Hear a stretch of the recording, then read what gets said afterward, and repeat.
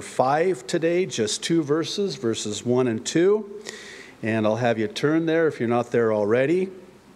And if you're able, I'll ask you to stand and you can follow along as I read. If not, that's all right, where you're seated.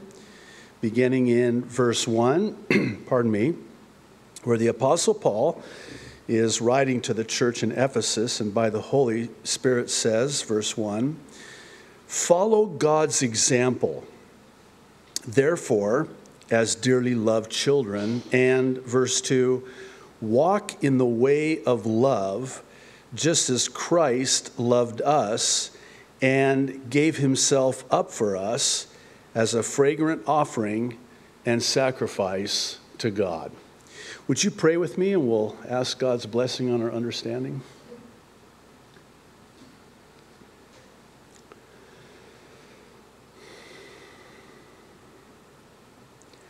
Loving Heavenly Father,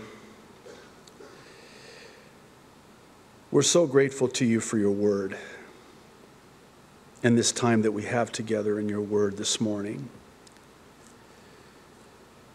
But Lord, we're keenly aware that unless you, as only you can, by the Holy Spirit, give us eyes of understanding, the time that we do have together in your word is going to be a waste of time. And I believe none of us here today in this beautiful church want for that to happen. Lord, we're also keenly aware that the enemy has the propensity to distract us and get our minds to wander so that we miss what it is that you would desire to minister to us in and through your word. So we're going to ask you to give us that ability to focus and give you our undivided attention so that we can hear and perhaps more importantly, heed your word. Thank you, Lord. In Jesus' name, amen and amen. You can be seated. Thank you. So, This is one of those teachings that I, and I don't do this very often, but I change the title like seven times. I mean, I, I try to title the expositional teaching of God's Word pertaining to where we're at in God's Word. And this is one of those places in God's Word where the first title I chose, I'm looking at it and I'm just, no, that's not really quite it. And then the second title was really not it. And then about the sixth, seventh time, the Lord just kind of hit me upside the head, as oftentimes He needs to, and gave me this title of The Source of Love. And the reason I chose that title is because God is love, and as such, the source of love. It's not that God has love. No, God is love. And that's the source from which we too can love. Here in chapter 5, the Apostle Paul is continuing his exhortation from the previous chapter. And in so doing, he's actually sort of setting the stage for what he's going to address in the rest of the epistle. And for those of you who read ahead and stay ahead, you know what's in store for us in the rest of this epistle. Really good nuts and bolts, practical information and application as it relates to the Christian life, the Christian marriage, the Christian career, the Christian workplace and all of the above. But more specifically, he needs to sort of lay this foundation of the paramount importance of love.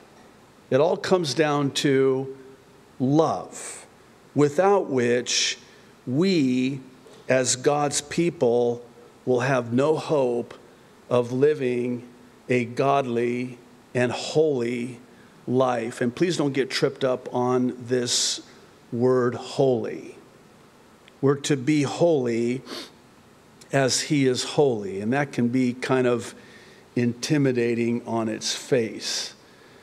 I like to see holiness and say of holiness that it's wholeness, not half, not three quarters, but whole and full. A holy life is a fulfilled life, a life that is filled with the Holy Spirit. I know this might seem like a firm grasp of the obvious, but Holy Spirit, holy life, I know, deeply profound, isn't it? That's how we live a holy life. We live a holy life by way of the Holy Spirit that fills us to wholeness, to fullness, to where our lives become rivers of living water, torrents, powerful torrents of living water. And it all comes down to love. In order to better understand what it is that Paul is saying when he says that we're to walk in the way of love, we need to bring in the last verse in the previous chapter for the sake of context. And the reason is, is that we're provided with the how of the Spirit of God, which empowers us to do the what of the Word of God. It's Ephesians chapter 4, verse 32, and listen to what the Apostle Paul says here. He says, Be kind and compassionate to one another, forgiving each other, and here it is, just as in Christ God forgave you. Notice that God enables us to forgive others vis a vis the forgiveness that God has first given to us. That's the source. Let me say it this way the source of forgiveness is having been forgiven. God is the source of our forgiveness, which fuels, if you will, us in our forgiving of others. How can I forgive you? Because God has first forgiven me. Enter the text that's before us today. The Apostle Paul is connecting the dots between forgiving one another and loving one another. And the common denominator is this source, such that forgiveness and love for each other comes by way of God's forgiveness and love for each and every one of us. Just as we're able to forgive each other because God forgave us, so too will we be able to love each other as God loves us. I know I've shared this many times in the past, but early in our marriage, I thought I was being so profound and spiritual and godly, and I just had this moment of inspiration. And I wanted to share this inspiration with my wife, just to express to her my love for her. And so I said to her, honey, God has given me a love for you that can only come from Him. To which she, as only a wife can, responded, Really? you mean I'm so unlovable that the only way you can love me is if God gives you a love for me? I'm like, what? Where did you get that? How did you do that? Listen, wives, we love you, okay? But how do you do that? How can you take something that is so from the heart, so sincere, so genuine, and, and take it and just, I mean, twist it into this pretzel that looks nothing like that which we had originally intended it to be? And so I had to try to explain to her no, that's, that's not it at all. I am told that I have to love you as Christ loved the church and gave himself for her. And there's no way that I can love you that way unless God is the source of the love, so I can love you that way. Whenever I do a wedding, which I love doing weddings, I always talk to the husband about loving his wife, which is exactly what Paul's going to talk about next. Loving his wife as Christ loved the church and gave himself for her. And then sometimes I will even query the groom right there in the middle of the wedding ceremony, and I'll say, How are you going to do that? And really puts them on the spot. You could hear the collective gasp from amongst all of those in attendance. And I answer the question for him, which takes the pressure off of him. And I say to him, You can't. There's no way. It's impossible for you to love her that way. The only way you can love her that way is with the love that God gives you for her. That's the only way. And that's what Paul is saying here. Now, notice in verse 1 where Paul says, Follow God's example.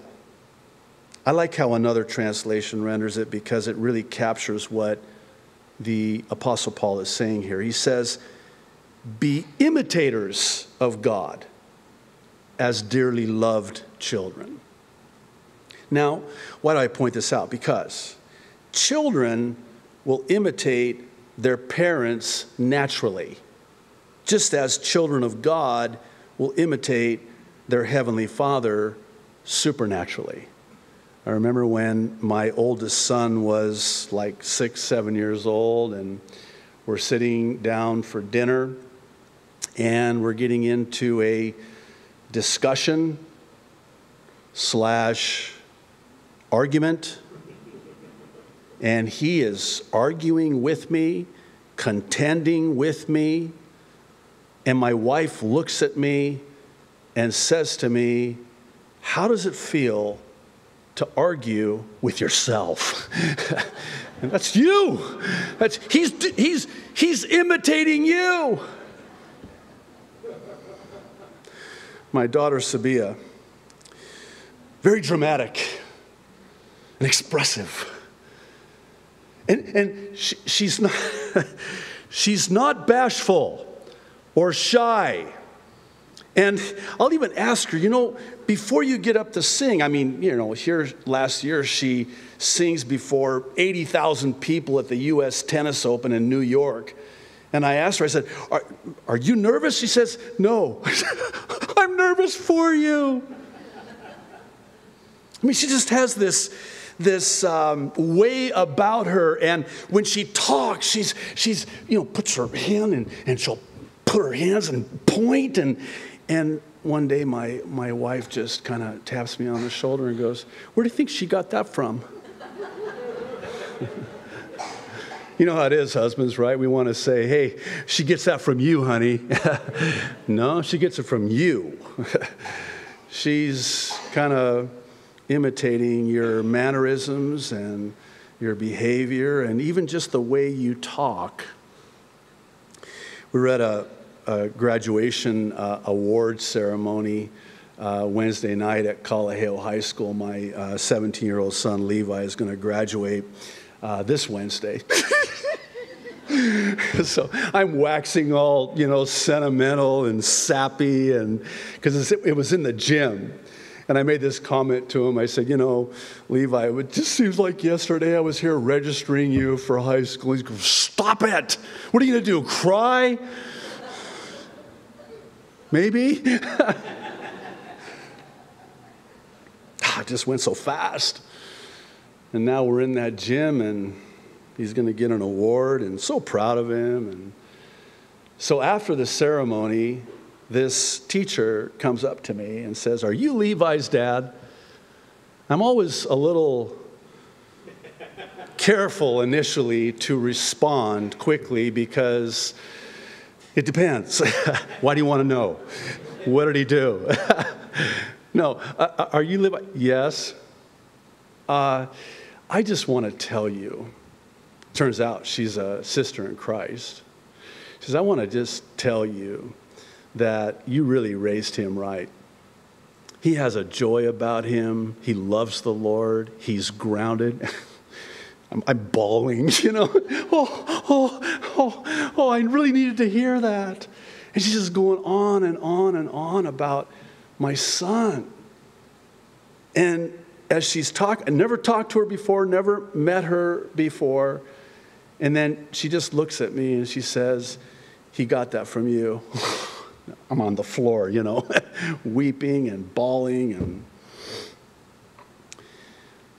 we imitate those with whom we spend the most time with and are around the most, right? Do you see where I'm going with this? Does this not presuppose that we're spending time with and are close enough to the Lord to begin with in order to become like Him? That's how it works. There's this fascinating account in Acts chapter 4, verse 13, where Peter and John were on trial for preaching Jesus and his resurrection from the dead. We're told that Peter, filled with the Holy Spirit, boldly proclaimed that salvation is found in no one, for there is no other name except the name of Jesus by which we must be saved. Then in verse 13, we're told that when they saw the courage of Peter and John and realized that they were unschooled, ordinary man, they were astonished. And here's why because they took note that these men had been with Jesus. In other words, they've been around Jesus so much that that's why they're able to do this and proclaim this. That's why they have such boldness. That's why they have such courage. They have been with Jesus. Oh, would to God that it would be said of us, He's been with Jesus. Look at how he's acting. Look at how he's talking. Look at how he's behaving. Obviously, he's been with the Lord. Charles Spurgeon said this If we are imitators of God as dear children, men will be compelled to recollect that there is a God, for they will see his character reflected in ours. I have heard of an atheist who said he could get over every argument except the example of his godly mother. He could never answer that. There is no answer for that. Now, the question becomes one of what is it about certain people, like this godly mother Spurgeon refers to, that would cause the world to say they've been with Jesus? In a word, love. Love. it all comes down to and is predicated upon love. Love is the test by which we'll be known as believers in and followers of, disciples of Jesus Christ. Listen to what Jesus said in John's Gospel, chapter 13, verses 34 and 35. He says, A new command I give you love one another as I have loved you. There's the source again. As I have loved you, that's the source for you in turn to love one another. So you must love one another. By this, listen, everyone will know that you are my disciples. And he says it again if you love one another. That's how they're going to know. Like that song of old, they will know us by our love, by our love. And by the way, that works the other way too, and I'll explain what I mean. It goes both ways. You don't think that Satan knows that it's by our love one for another that we'll be identified as disciples of Jesus Christ? if that's the test, if that's the gauge by which they're going to know, the world's going to know, by our love one for another, that we're with Jesus, then wouldn't it stand to reason that if it's our love for one another that we're known as disciples of Jesus, that it would conversely be our backbiting and fighting and devouring of one another, that they would question it? Absolutely. I think about what Paul wrote to the churches in Galatia. He says to them, You know what you're doing? You're backbiting, you're gossiping, you're slandering, you're fighting, you're devouring each other. You're going to destroy each other. You keep doing that, you're going to destroy each other. And, and the world is watching, by the way. The world watches us, and they read us like a letter. We are living epistles. How does your epistle read? How does your letter read? Is someone is reading the letter of your life, what are they reading? How does the letter of yours and my life read? One of the things that I found myself asking the Lord for in recent years is to make me more loving towards other people. And it's interesting, that's a, that's a prayer you want to think twice before you pray because you may not like the way that God's going to answer that prayer. You really want me to make you more loving towards other people? Have more compassion? Be kind? towards others. Okay. And then God breaks you, and He humbles you, and He brings you to that place where you drink ever so deeply from the cup of His love, and it changes you forever. When you're on the receiving end of God's love for you, at times like that, you can't help but have more compassion and kindness and love and patience for other people. One of the things that, that trials and difficulties do in our lives is they, they make us more compassionate and kind and humble and loving. I think it was Oswald Chambers that said, You have no idea what that person is going through, and if you could but walk in their shoes, you would be kinder to them. if you could just even for one day walk where they walk, you would be kinder to that person. Maybe that's a word for somebody here today. Maybe for a husband towards the wife, or the wife towards the husband. Again, this is where Paul is heading. This is where we're going to be in the weeks that follow. So you have to come back. You can't be not here that day when we talk about this.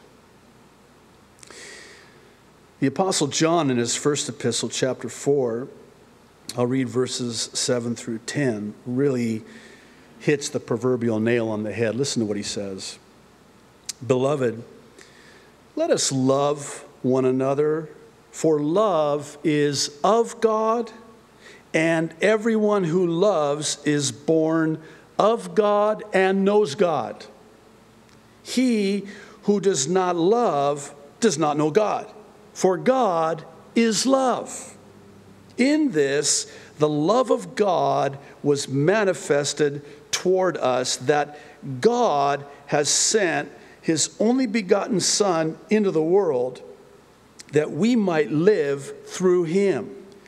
In this is love. Not that we loved God, but that he loved us and sent his Son to be the propitiation for our sins. Did you catch that? Throughout that is the source for that because God first loved us. And it was demonstrated, manifested in that God so loved the world that he gave his only begotten Son, that whosoever would believe in him would not perish, but have everlasting life. Later on in the same chapter, verses 19 through 21, he continues. Listen to this. He says, We love him because he first loved us. If someone says, I love God, and hates his brother, he is a liar. For he who does not love his brother whom he has seen, how can he love God whom he has not seen? Interesting. And this commandment we have from him that he who loves God must love his brother also. You'll forgive me for putting this into a formula, but I think it's apropos that I do. If for no other reason, it's a better way to understand it. But see it this way forgiven of much equals loves much, which totals obeying much. Let me say the same thing in a different way. The one who has been forgiven of much loves much, and the one who loves much will obey much. That's how it works. This is the how the law is fulfilled in the sense that we love God with all of our minds, all of our hearts, all of our soul, all of our strength vertically, which is the source of loving our neighbor as ourself horizontally. Stay with me on this. Is that not how the law is fulfilled? And does not the law, keyword, hang on that? Watch this. This is interesting, right? Uh, interesting, uh, even typology. So you have the first five commandments that are vertical, loving God with all of our heart, soul, mind, strength, vertical. Now let's put the horizontal on there, the second five. Loving your neighbor as yourself. It's in the shape of a cross. And until and unless you have the vertical, you can't hang the horizontal. Do you see the source? The source of loving one another as I already am head over heels in love with myself, you'll forgive me for saying it that way. I only do so because perhaps you've heard it said, well, I can't really love people because I really don't love myself. Give me a break. You love you so much. And that's what Jesus was saying. love your neighbor as you already love yourself because you love yourself. Now, how are you going to love your neighbor as much as you already love yourself? Well, you need the source, you need the vertical. It's loving God because he first loved us. Notice he comes down vertically and then horizontally, I have the source from which to love one another horizontally. Without this, you don't have this. Because what's that going to rest on? What's that going to rely on? What's that going to come from?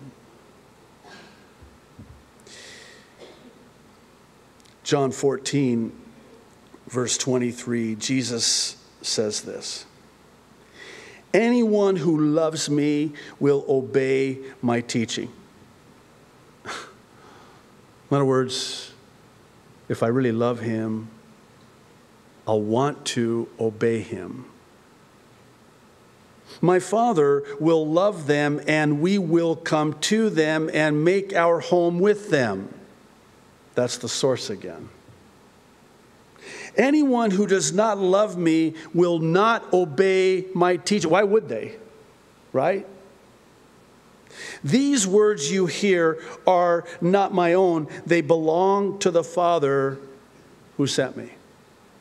Now, if you'll bear with me, I want to try to tie it all together because I don't think it's possible to overstate the importance of I've been forgiven of much, because of what Jesus did on the cross for me, because of his love for me. And because I have been forgiven of much, I can in turn forgive others of much. And because I have been loved so much and forgiven of so much, I too can love so much in return. And because of that love, I will walk in obedience to the Lord. And an obedient life is a holy life, and a holy life is, dare I say, a happy life. I want to close with what I would argue is the best example of what this actually looks like. It's in Luke's Gospel, chapter 7, and I'll give you a quick backstory so you know what's going on here. Jesus had accepted a dinner invitation at the house of a Pharisee. As he reclined at the table, a woman with a past, a very sinful past, heard that Jesus was there. So she comes with her alabaster jar of perfume, and you need to understand that this was before the days of embalming, and they would save up all of their lives, what some believe would be the equivalent of one year's salary and income and pay, and they would have this oil for their burial. And as was the custom in the day, they would keep it in this alabaster jar, and this was the oil that would be put on them upon their death.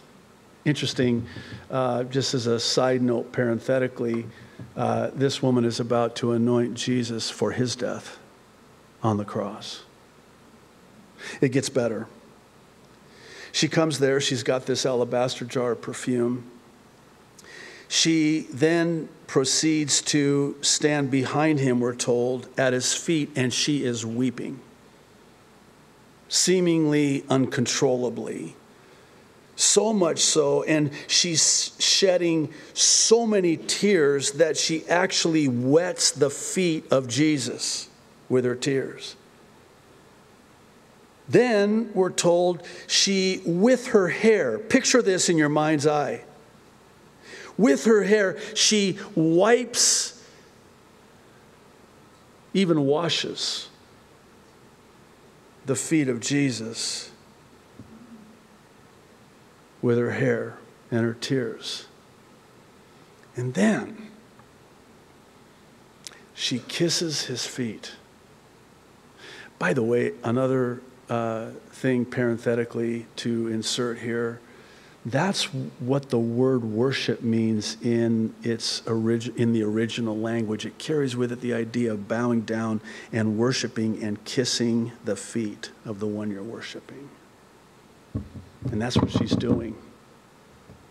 And then she pours this extremely expensive perfume on the feet of Jesus. Whoa! Why, never. The Pharisee sees this. and, and it's interesting.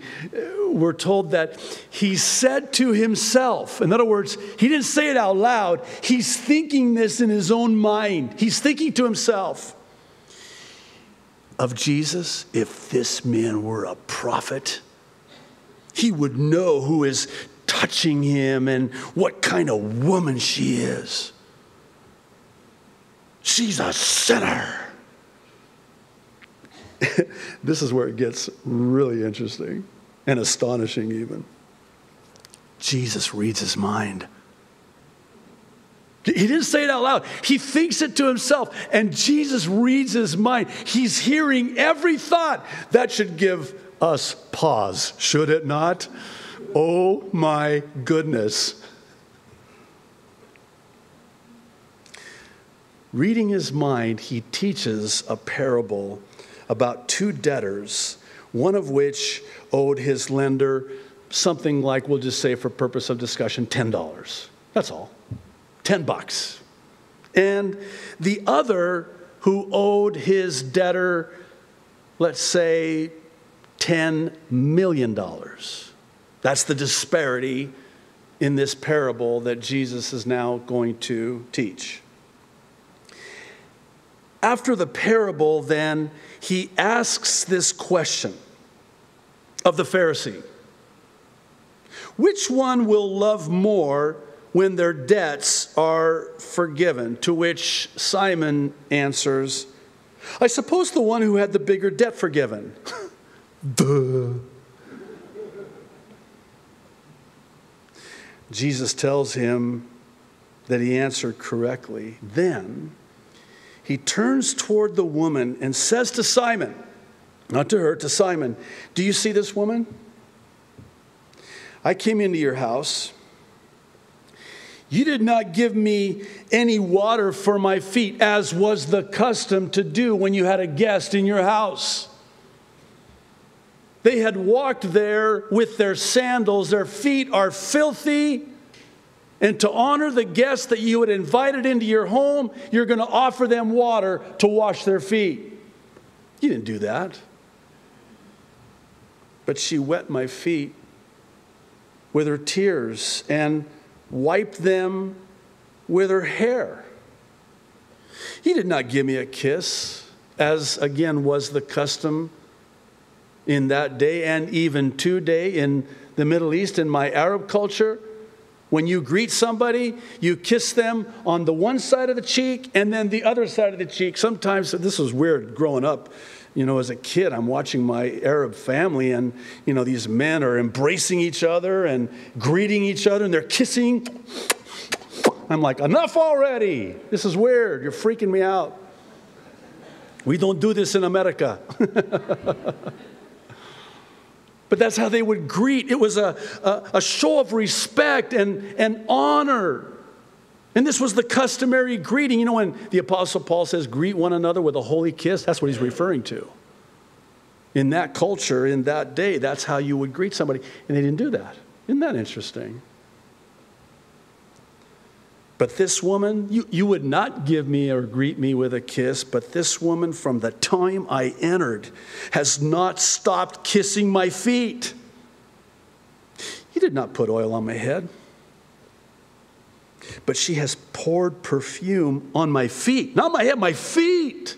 The filthiest part of the body. This is another cultural dynamic that we really don't understand here in, in the United States, but in the Middle East, you never put your feet up when you have guests. And you know the reason? Because you're showing to your guests the filthiest part of your body, not just your feet, but the bottom of your feet, and it is a sign of disrespect.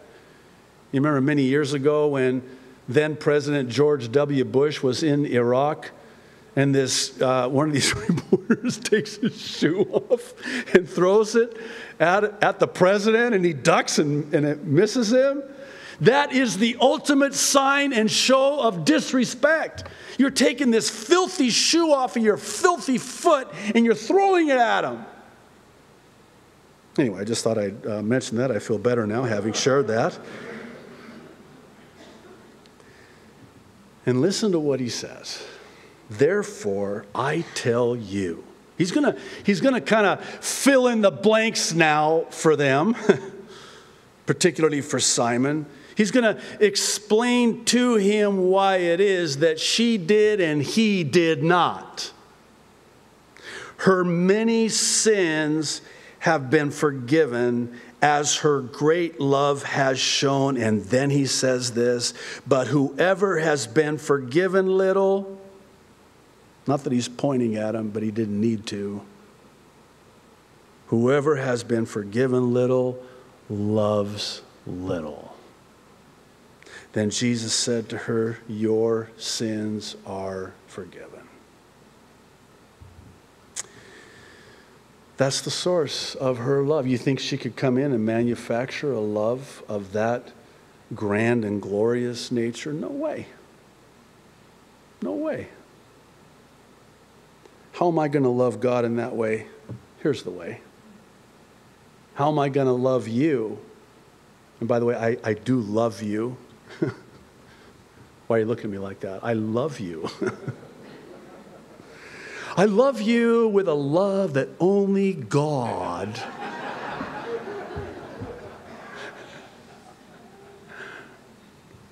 Let's pray. Father in heaven.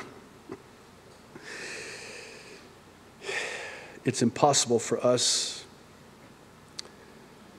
this side of heaven in the finite adequately express to you